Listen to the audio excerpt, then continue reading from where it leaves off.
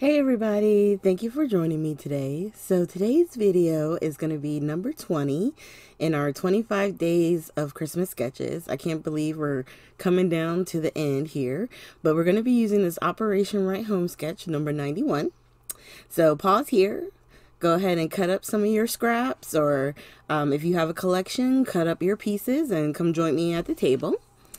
So I've taken... Um, these three patterns using three different ones and I grabbed one of the sentiments from the back of my Kaisercraft uh, paper pad. And as you guys can tell I really enjoyed using this um, particular paper collection. I love the minty green color. It's almost blue.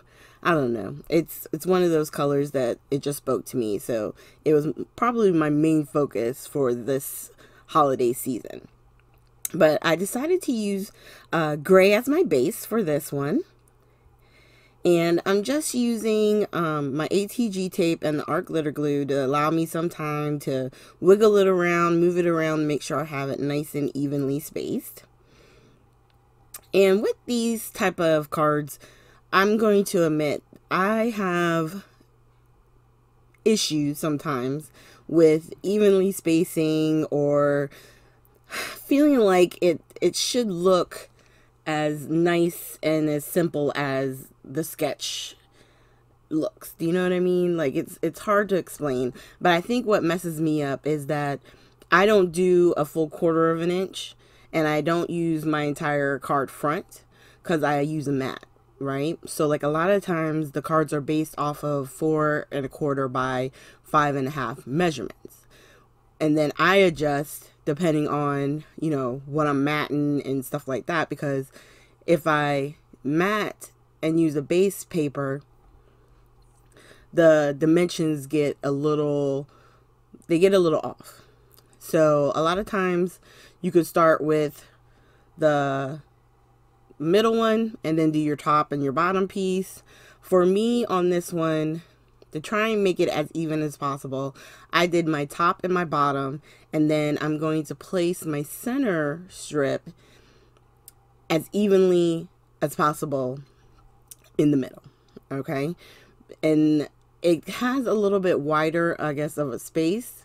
Um, you could do a couple of different things to fix that. You could always put like a peel off in the middle, give it a little bit of added interest. Um, you could also mat the three pa- um the three pieces of paper. Because I want to say it's like four by one and a half I think it is.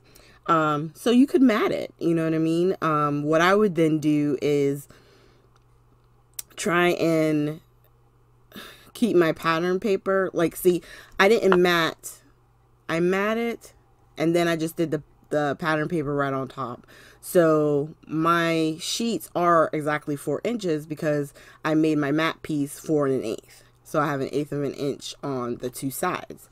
So maybe if I'm going to mat them next time, I won't do a mat. I'll just mat each of the individual pieces and then attach them to the card front that way. That's an option too, which would create one, um, some thickness because you're going to be matting each individual piece. And then you can do still do some of the stuff I was saying like using the peel offs or at the bottom I just use some Nuvo drops to add a little bit of something something. Um, you could add sequins to this. You can add gems. Whatever you want to spruce it up. You know what I mean? But in just following the sketch as it is it's really simple and easy to use. And another great sketch to use up your scraps with. And it doesn't take any time at all right?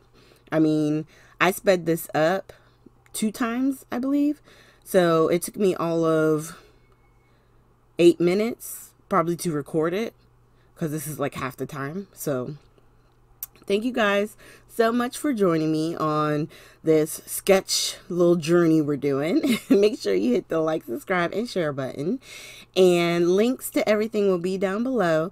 And I'm still going to link Jenny and Beatriz, even though she wasn't able to get her videos up. She's my bestie on YouTube and in life. And I want to make sure you guys check out her channel too. So I'm leaving all her stuff there as well as Miss Jenny. So definitely check them out, you guys. Thank you so much. And I hope you have have a great day.